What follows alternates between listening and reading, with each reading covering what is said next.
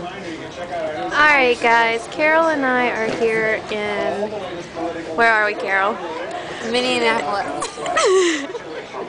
Alright, we're in Minneapolis right now and uh, we're leaving for South Dakota. Rapid City. Rapid City, South Dakota. So uh, we just got to our gate and we're going to sit here and wait on our flight. We have about another hour. And what do you, you think we're going to fit in? No. South Dakota? No. They told us there's going to be buffalo. so we'll see. Anyway. No phone, no phone. Oh yeah, my phone's not going to work. That's not good. so anyway, we'll check in in a few minutes.